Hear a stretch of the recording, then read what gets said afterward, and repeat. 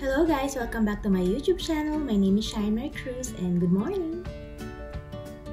So marami pong kababayan natin ang gusto pumunta ng Canada and the thing is, hindi nila alam kung paano maghanap ng trabaho or saan maghahanap or minsan kung mag agency man sila, hindi sila hindi sila sure kung yung agency is legit. So with this um, agency that I'm going to talk about, is legit po talaga yung agency and wala silang placement fee And depende kung anong position yung ina-apply nyo depende kung anong trabaho, they don't require IELTS and ECA. So if you think mababa yung IELTS nyo, hindi sapat for PR, okay, with this um, uh, website, uh, hindi kailangan ng IELTS, hindi rin kailangan ng Educational Credentials Assessment okay, or yung ECA na tinatawag din.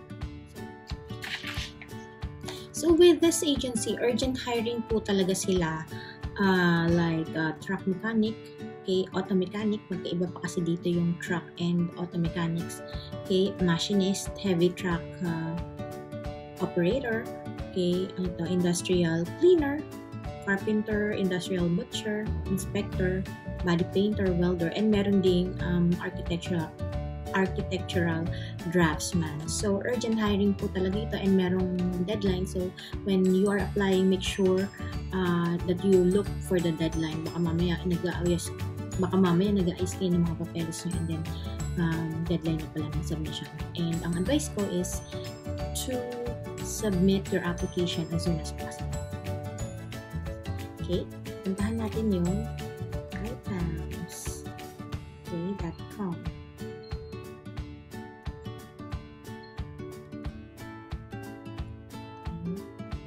And then, mag-scroll down tayo. Puntahan natin yung country na saan man gustong pumunta.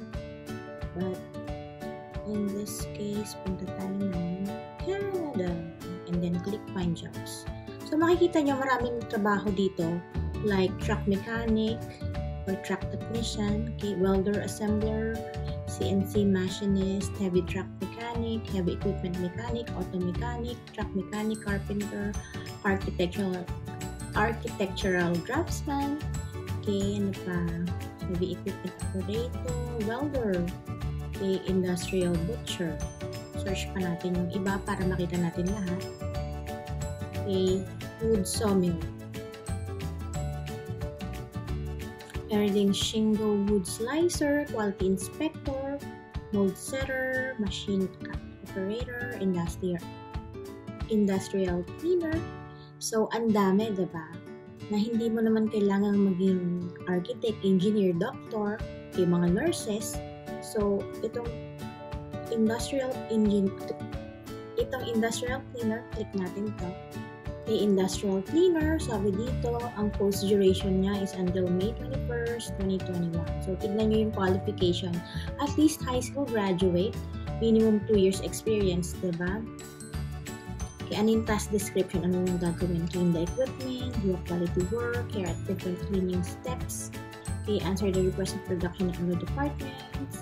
Okay, try natin mag-register to apply click nyo yun, and then meron mga important points doon on making a good resume. Siyempre, kailangan mo ilagay yung work experience mo, okay, supported by employment certificate or mga payslips, and then your educational background, major achievements like certification and licensure or mga trainings or seminars na inatenan nyo, and then language, hobbies, interests. So, uh, kailangan related dun sa ina-apply nyo. So, kung ang hobby nyo ay magtong eats, diba? Hindi nyo na kailangan ilagay dun yung hobbies and interest nyo.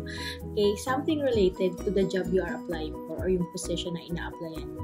And then, of course, yung references. Um, you have to put um, at least three okay, character references and make sure kinontak nyo yung taong ilalagay nyo as your reference para naman pag may tumawag sa kanya immediately nasa isip niya na ah ito yung reference na sinasabi sa akin ganyan.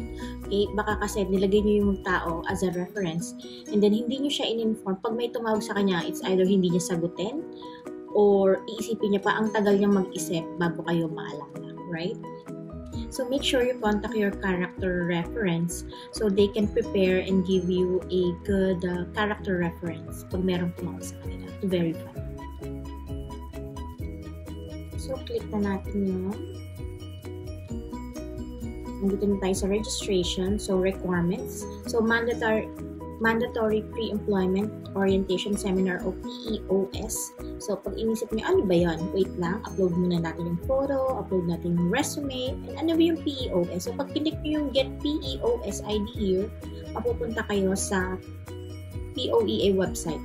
Then you have to register first kung hindi pa kayo nakaregister dito, which is free. And since hindi naman ako magre-register, hindi na natin gagawin. But then, pag meron na kayong e-registration number, okay, you can go back and then put your PEOS certificate ID. So, lalagay mo na yung pangalan mo, middle name, all the information needed here. Scroll down, scroll down, scroll, scroll. Okay. So, general evaluation form, healthcare and medical services evaluation form, registered nurse skills self-assessment form, and cabin crew evaluation form. So, i-upload natin yung mga forms na yun uh, dito after mong masagutan. So, if you are not a healthcare or medical service um, person or hindi ka registered nurse or hindi ka cabin crew, okay, ang form na gagamitin mo is for sure yung general evaluation form and then i-upload mo dito by clicking the upload evaluation form here.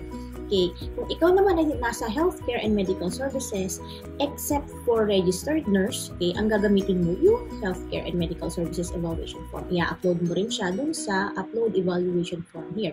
Now, if you are a registered nurse, okay, dalawang form ang i-upload mo. Yung health eh, healthcare and medical services evaluation form as well as the registered nurse skills self-assessment form. Okay? So, dalawa yung i-upload mo if you are applying for a position as a registered nurse. Ilalagay mo yung upload evaluation form here. And then, the last is cabin crew evaluation form. Anyway, since ang ina-applyan natin is industrial cleaner, okay, ang i-upload natin is yung general evaluation form. After that, you have to answer, are you a nurse? Okay? Kailangan mong sagutan yan, yes or no. And then, if you're a nurse, i-upload mo dito yung self-assessment. Okay, RN self-assessment form. Okay, and then you click register. Since hindi naman tayo magre-register, yan na. Okay. And, okay, marami talagang um, job offers itong iPumps. And iPumps is a very legit company. And marami na akong kaibigan na nakarating dito okay, dahil sa iPads. Pero nasa iba-iba silang lugar. Yung iba nasa Ontario, yung iba nasa uh, Alberta. Okay? And and hindi ako binabayaran ng iPads. Ginagawa ko lang to just to help other Filipinos yung mga gusto pumunta dito um, through job offer. Okay, so agency to, so ibig sabihin um, contract lang yung work. But then, pagdating dito sa Canada, di ba, you have to find out kung paano ka magigipare kasi andito ka. But anyways, okay, small steps muna tayo, baby steps. Um, ano muna yung importante natin gawin, doon muna tayo mag-focus. So, you have to choose kung saan ka pwede, tignan mo yung qualification, and then you can And I guarantee you, nagpapaalis talaga ito ng mga Filipinos pupuntang Canada, no placement fee.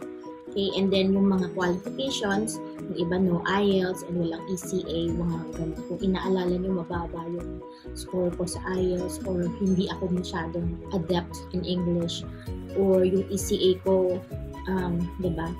Uh, hindi ako nakatapos ng college or university. Dito, high school graduates lang mostly ang um, requirement depending on the position.